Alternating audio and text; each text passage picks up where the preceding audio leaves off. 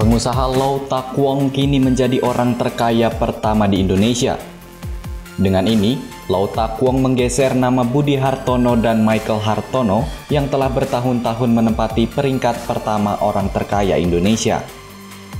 Berdasarkan data dari Real Time Force Billionaires List, kekayaan Lau Tak Wong per minggu 25 Desember 2022 mencapai 25,2 miliar dolar Amerika Serikat atau setara 393,12 triliun rupiah.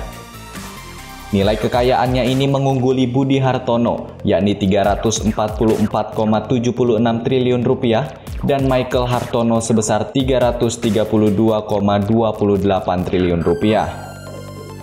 Kekayaan pengusaha batubara itu meningkat pesat sejak awal tahun 2022. Pada awal tahun ini, kekayaan Lau Tak Wong sebesar 3,7 miliar dolar Amerika Serikat atau setara 57,72 triliun rupiah. Lonjakan kekayaannya itu selaras dengan kenaikan harga saham perusahaannya, yakni PT Bayan Resources Tbk atau BIAN.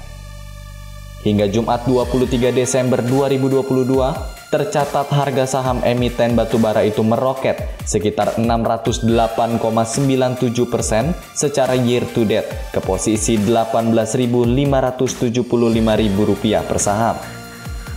Saat ini Lota Kwong diketahui menjadi pemegang saham mayoritas Bian sebesar 60,93 persen. Di luar bisnis batubara, Lota Kwong juga menjadi pengendali perusahaan energi terbarukan Singapura Metis Energi.